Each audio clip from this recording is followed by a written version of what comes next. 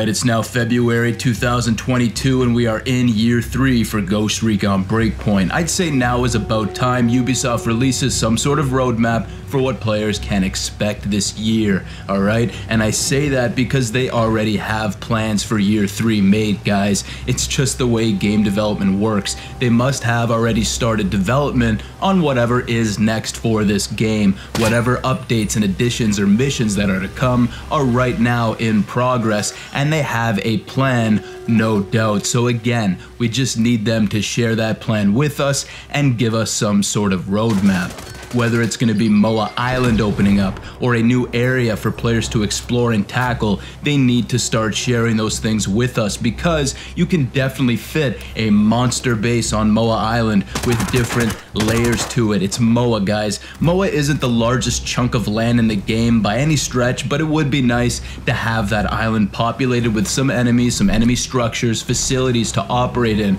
Perhaps even a large scale mission could take place there. Regardless, outside of that, they could also open up other islands too, islands that don't even exist yet. Even just add some more land to the likes of Golem, make it far away from the mainland to justify it if you have to. But aside from new areas to explore, what about some new enemy customization features? I said this like a hundred times, but give us the ability to spawn sums of enemies where we see fit and allow us to notch up the amount of enemies that populate those areas, alright? Add more enemy camps, add more enemy structures and all those areas that are just basically nature walks at this point. Fill the map up some more for things for us to tackle, all right? And add some civilian life too. Why not? Bring this life, bring this game some life, man.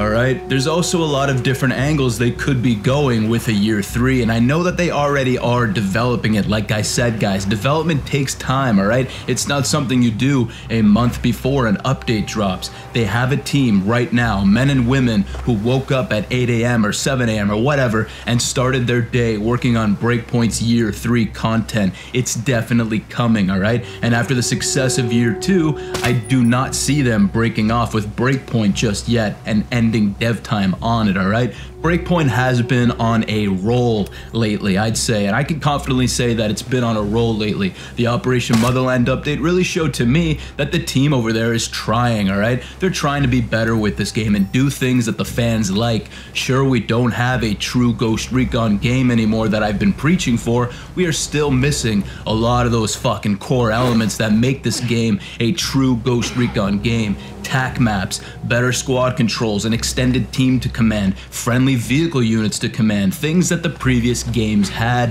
that they could lean in on those aspects if they want to bring some of that type of content to year 3.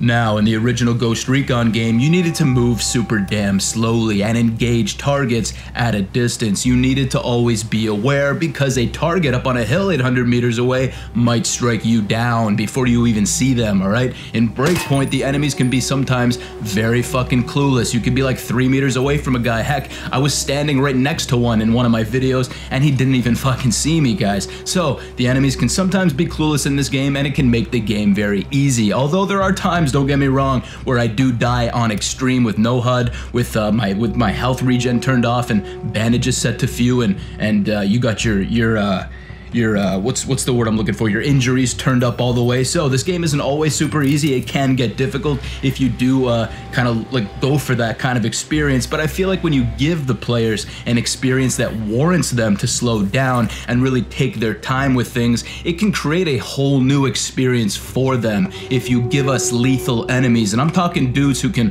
one-shot you in a firefight because you know that happens, and and it would force you, the player, to utilize cover more and play with more strategy, all right? With, with using that TAC map, all right? And then you got those new and improved squad controls to utilize as well. You throw those in the mix. And then, like I said, a brand spanking new TAC map if they added that. Then you really are changing the experience for players. It may seem subtle, but it would have a big impact on the overall gameplay, guys, all right? And speaking of all that, we need a hardcore mode like Ghost Mode back in this game. That the one that Wildlands had, all right? It's a feature players have been screaming for, and I do not doubt that that will become coming in year three. All right. So if there's anything you can kind of be sure to be sure to have in year three, I'm pretty sure a ghost mode will be added. All right. But let's bounce over now to enemies, guys. All right. We need a massive increase in enemy count all across Auroa, all across the game world. All right. I want an increase in difficulty alongside of those increase of enemies. All right. More patrols, more units just spread all across the map. All right. And it should not take six or seven body shots anymore to take down a target. All right. But I think that it's too late in the game for them to change that. Uh, you, you guys see in my weapon loadout videos when I do those power tests, you see how many shots it takes to take down a target. All right. Now, sure, a wolf might be a little bit more armored so they can take a few more shots. But again, guys, a, a, an enemy should not be alive after taking more than two shots to the chest. I'm sorry. All right. That's how it should be, man. They need to increase the time to kill in this game, both against player and both against non-player enemies. All right. Anyways, guys, so we need better enemy AI behavior too to go alongside of all of this, all right? So again, these are all things for them to consider, and these are things I'd expect to see in a year three, all right? Maybe not all these things, but some of these things for sure in some way can be implemented and can come. We just need, again, a roadmap, something to show the community that just sits here frothing at the fucking mouth for any updates on what's in store. Let us get excited, all right? Let us know clearly what to expect and be honest because not sharing a roadmap and just releasing stuff last minute as a surprise will just make players feel empty because each of us, I know each of us have something that we want to see and if we aren't told what to expect, then the community will just hope for things and expect things that aren't actually coming and it could end up making players angry when the update does come and we get upset because we were expecting certain things. So give us a roadmap, lay out everything clearly so we, the community, know what to expect and we can set our expectations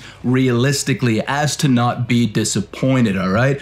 Or you can just not tell us anything and then get scolded by the weight of this community and how vocal we are when those year three content drops do happen, all right? And it's not what we expected. So lay it out, everything on the table for us. That way we can set our expectations realistically, all right? So guys, this video, I know I'm gonna I'm gonna close it off now, all right? But uh, this video wasn't really uh, to, to get into all those things into heavy detail, all right? This was just to kind of give Ubisoft a jab to start sharing with us those plans that they have, all right? So sure, I briefly touched upon a few different topics relative to things we can hope to see, but I of course again did not go into a full covering of each of those things, all right guys? Again, this video was mostly just to poke Ubisoft in the shoulder, not so much a video to fully discuss every single thing and every little type of detail that I would normally do. Um, on what I would like to see in a year three, but do share your thoughts, guys, in the comments and expand on some of those brief points that I brought up and I suggested, and let's get this convo going, all right, guys? Feed them your ideas and your wants for a year three.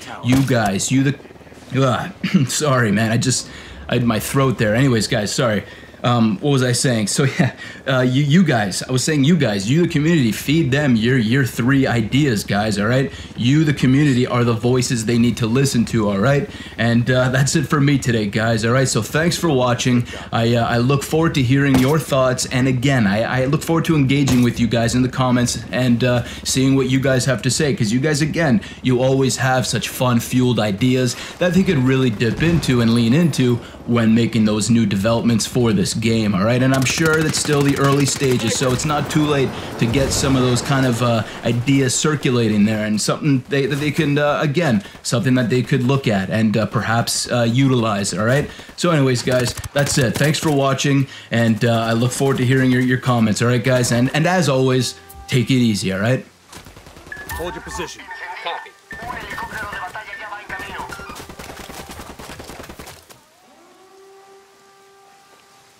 Take cover! Man down.